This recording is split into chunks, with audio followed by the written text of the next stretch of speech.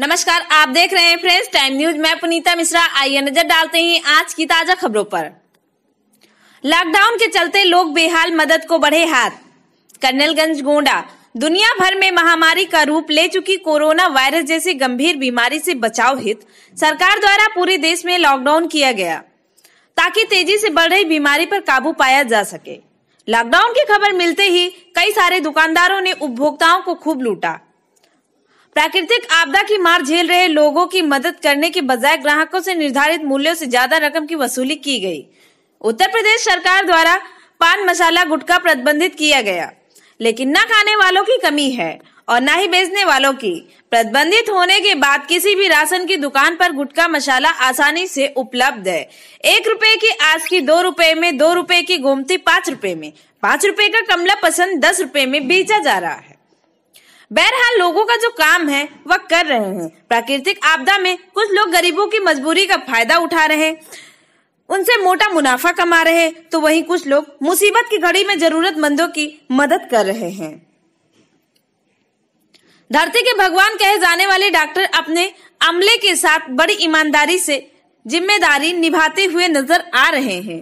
दूर दराज से लौट रहे लोगों का लखनऊ गोंडा मार्ग हुजूरपुर मोड़ पर चिकित्सकों द्वारा रविवार को लगभग 2000 लोगों का थर्मल स्क्रीनिंग किया गया।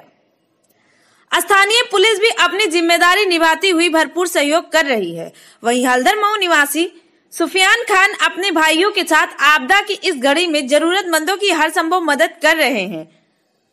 शाहवान खान बंधुओं द्वारा ग्रामीण इलाकों में प्रभावित लोगों को राशन व सब्ज़ी वितरण किया जा रहा है तथा गोंडा लखनऊ राजमार्ग पर हुजूरपुर मोड़ पर दूर दराज व अन्य प्रदेशों से अपने घर वापस हो रहे भूखे प्यासे राहगीरों को पुलिस प्रशासन व सराफा एसोसिएशन कर्नलगंज महेश कुमार मिश्रा, पिंटू आदि लोगों के सहयोग से भोजन वितरण कर रहे हैं। वहीं हल्दर मऊ निवासी अबू खान, कई लोग द्वारा दिहाड़ी मजदूरों के घर जाकर उनको राशन, सब्ज़ी व ज़रूरत का सामान मुहैया करा रहे हैं।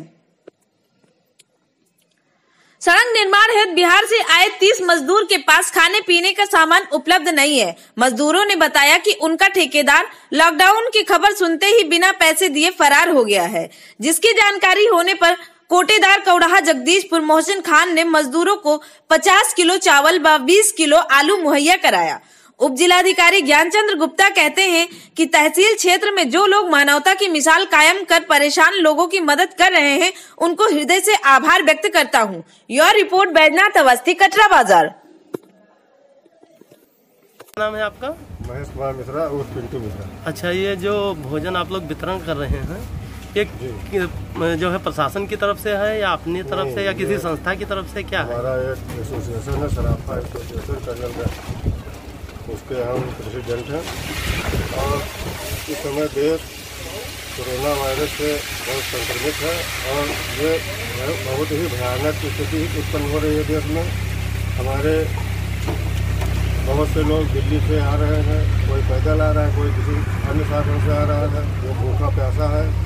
हम हम लोगों ने जब टीवी में इसकी न्यूज़ सुनी कि लोग खाने के लिए तरस रहे हैं, पानी के लिए तरस रहे हैं तो हम लोगों में एक विचार आया।